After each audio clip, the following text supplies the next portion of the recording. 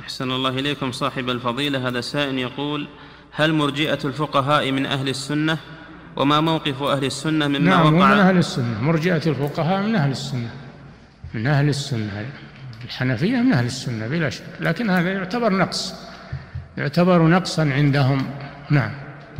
وما موقف أهل السنة مما وقع فيه أبو حنيفة والطحاوي وغيرهم من إخراج العمل عن مسمى الإيمان؟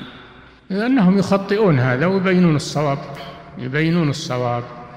هذا خطأ ويحتاج إلى من يبينه أنه خطأ. نعم.